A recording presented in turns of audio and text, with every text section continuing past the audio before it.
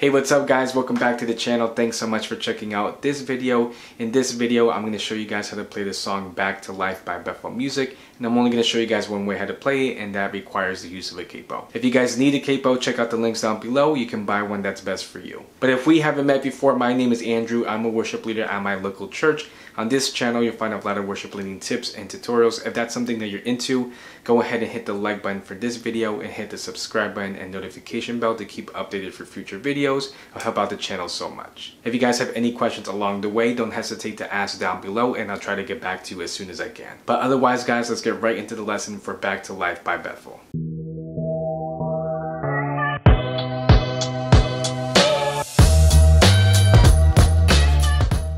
Alright guys, so Back to Life by Bethel is originally in the key of B. The tempo is 72.5 beats per minute and the time signature is 4-4. And like I mentioned before, we're going to use a capo for this lesson, but before I show you where to put the capo and what chords to play, I want to show you the strumming pattern first. The strumming pattern that we can use will remain consistent throughout the whole song and we don't have to switch it up with the different parts of the song. The strumming pattern that we'll use will go something like this. It's going to be down, down, up, down, up, down, down, down, up. That strumming pattern again will be down, down, up, down, up, down, down, down, up.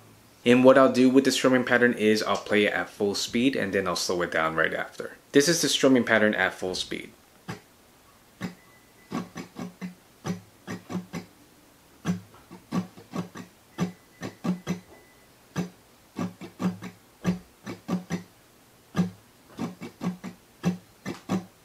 And this is a strumming pattern at a slower speed.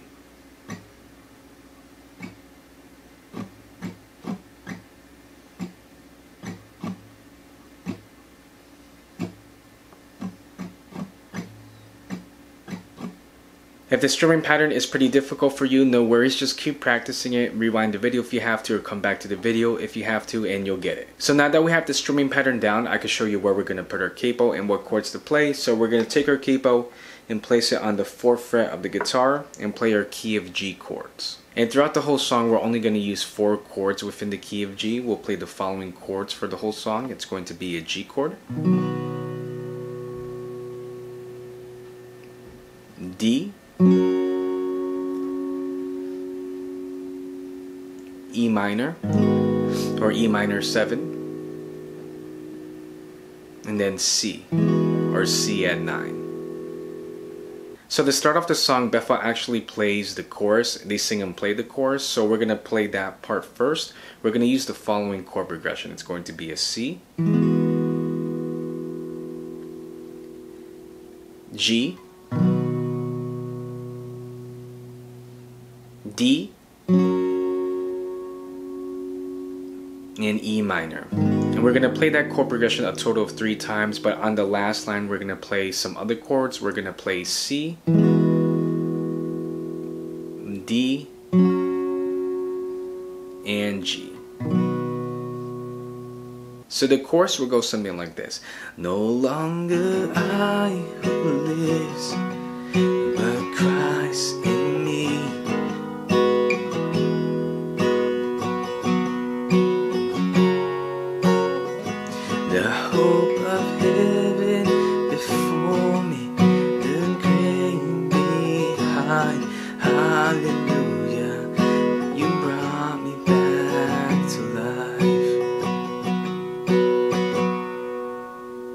So then after the chorus, they're going to go straight into the first verse. And for the first verse, we will play a different chord progression. We'll play the following chords. It's going to be G,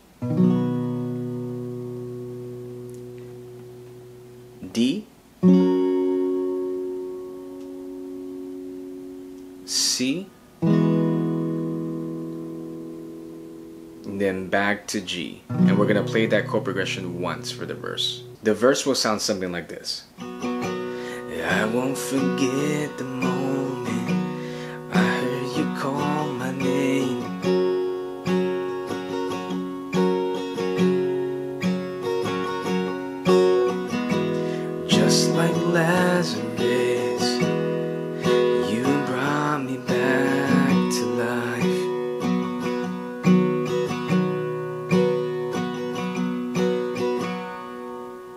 So then after verse 1, we're going to go into verse 2, and verse 2 is the same chord progression as verse 1, so no changes there.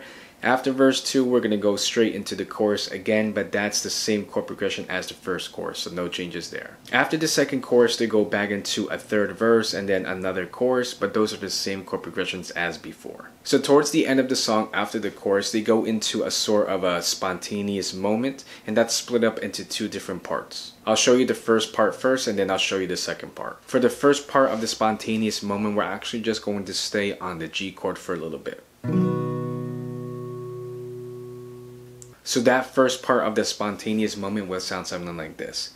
The enemy thought he had me, but Jesus said you're mine. The enemy thought he had me, but Jesus said you're mine.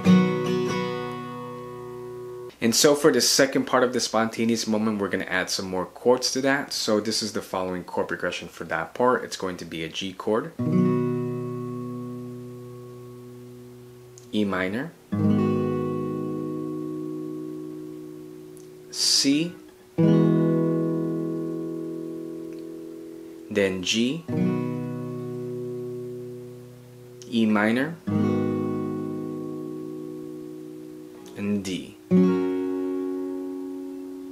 So that second part of the spontaneous moment will sound something like this.